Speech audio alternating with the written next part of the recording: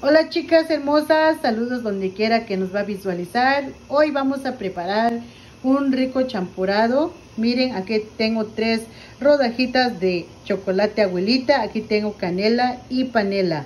El agua ya se está hirviendo. Vamos a poner todo el chocolate, la canela y la panela. Para mientras vamos a mover nuestra harina.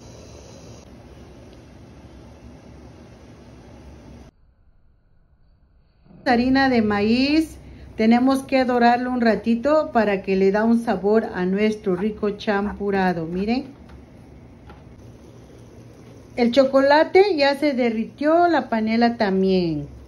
Y aquí vamos a echarle leche. Por todo voy a ocupar medio galón de leche. Ya voy a licuarlo. Ya terminamos de licuar la masa y aquí vamos a poner en la olla en esta manera. Tenemos que moverlo bien.